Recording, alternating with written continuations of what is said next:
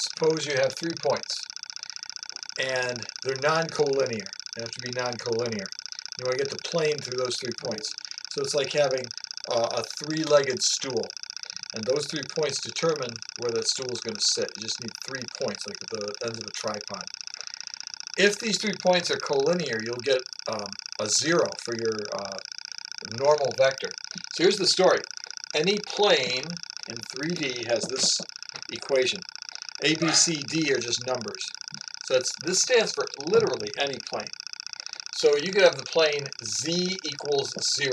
So it's big A equals 0, big B equals 0, C equals 1, D equals 0.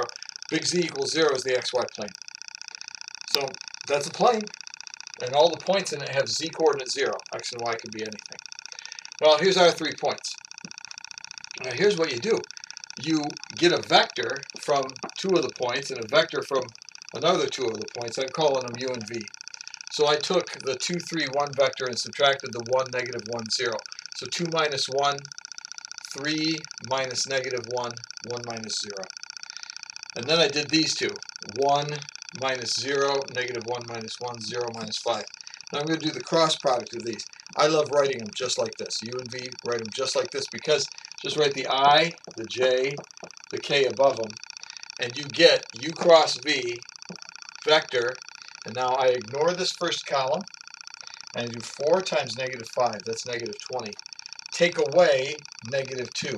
So negative 20, take away negative 2 is negative 20 plus 2. That's negative 18. Next. It's the second coordinate, so it gets an automatic extra minus sign.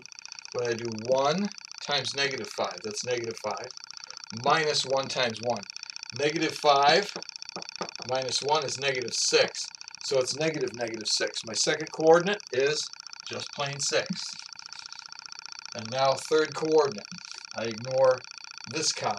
And I do 1 times negative 2, that's negative 2. Take away 4, that's negative 6. So I can use this as my equation, negative 18x plus 6y minus 6z z equals d. Negative 18x plus 6y minus 6z equals d.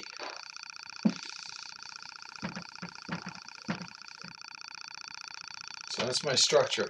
That's, that's my equation of the plane.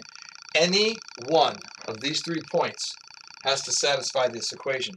So if I use the first point, 2, 3, 1, I get negative 18 times 2 plus 6 times 3 minus 6 times 1 equals d. So that's negative 36 plus 18 minus 6. So that's going to be the same as negative 36 plus 18, that's negative 18, minus 6 more, that's negative 24.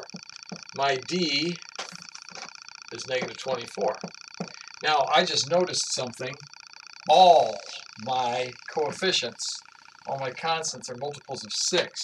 So this is a fine answer, but there's a better one. Also notice that 3 of my terms have minus signs. So the same equation, but this will not be the book answer. What I'm about to write will be the book answer. Divide through by negative 6. 3x plus, oops, sorry, minus 1 y plus z equals 4. I just divided by negative 6. Now, look what I did. I used all three points to make these two vectors. I used these two vectors to get this equation uh, with the d in it. Then I used one of those points, 2, 3, 1, to find this. I have, a, I have a check. I have two checks. I can take this point, put it in here, and see if I get a true statement. 3 times 1 minus negative 1 equals 4. Hey, it's true. This point checks. Let's do the other point. And that's 0, 1, 5. So it's 0 minus 1 plus 5 equals 4. Yeah. So check it out. This equation, I used the first point to get these guys, so the 2, 3, 1 has to work. But I checked the other two points. All three points make this equation true. This has to be the equation of the plane through those three points. That's what it is. I've got it right and I've got an easy check. So that's how to do the equation of a plane. And we're going to do a lot more of these. Then we also can do, oh, by the way, this is all from 12.5. So try a few. Try a few uh, plane equations from 12.5. You can also do a line. Let's do a line through these two points. Two points determine a line. And a line, this is how far we got today. There's two ways to write lines. We did the vector form. Vector form of a line looks like this. You get a direction vector from these two points. This direction vector is 2 minus 1 is 1, 3 minus negative 1 is 4, 1 minus 1 is 0. So that's your direction vector. And the line is 1, 4, 1 times t plus, use either of those points for an anchor. That's the equation of a line. You just let t vary. Let t be anything. That's what generates this. t can be a half. t can be negative 10.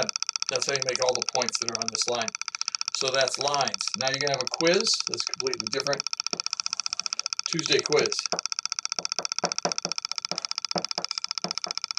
And it's going to be vector, scalar, or nonsense. So you'll have something like this.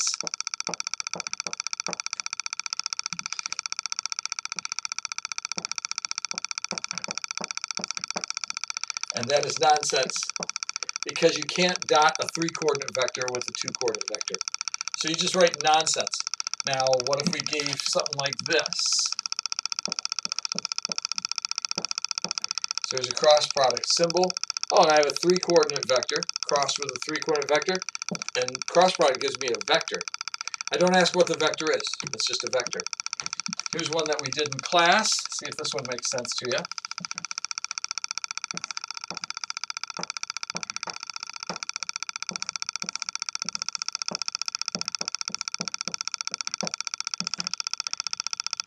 So one student gave the answer of nonsense for this, but it's it's perfectly okay.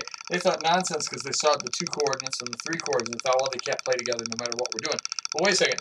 The length of this vector is just a number. The length of this vector is just a number. And this is no symbol in between those absolute value bars. So it's this is a number times a number. This is a scalar. If you actually did the problem out, this would be the square root of 4 plus 9, so it's the square root of 13, times the square root of 9 plus 16 is 25, plus 25 is 50. It'd be the square root of 13 times the square root of 50, which is a scalar. But all I really care about is, is a scalar. This thing is a scalar. Okay? And that's where we are.